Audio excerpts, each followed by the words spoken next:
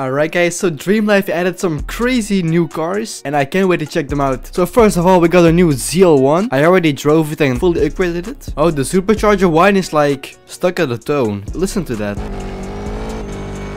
But yeah, this car is pretty cool, not gonna lie. But there's some other cars that I can't wait to see. This one, Chrysler 300 Hellephant, 180 miles per hour, $116,850. Let's go. Dang, so quick. It's not even upgraded. This just came out like 30 minutes ago. Okay, wait, I have to upgrade this. Oh yeah, by the way, you can like change the color of the hood and the roof. It's pretty cool. So let's buy that and a secondary paint. Oh yeah, look at that. So let's get a wrap on this thing. The normal camo works and that looks insane. So we're on this nice open road right here. Let's go full speed. I'm losing traction. It's too much power. Alright, so it turned out that I had traction control off. We're gonna try again. Here we go.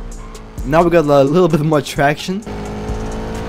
And then there was one more car that I wanted to show that's pretty new, which is the Jeep Trackhawk. Okay, so we obviously have to upgrade it. Oh, that's cool. This one also got like a black roof. Look at that. Let's get like a dark green and put a wrap on this. I want to see what it looks like. Oh, look at that. I think I'm gonna do this one in matte. That looks cool. Dang, this is so quick. This has a lot of... My god, my voice cracked. This has a lot of traction.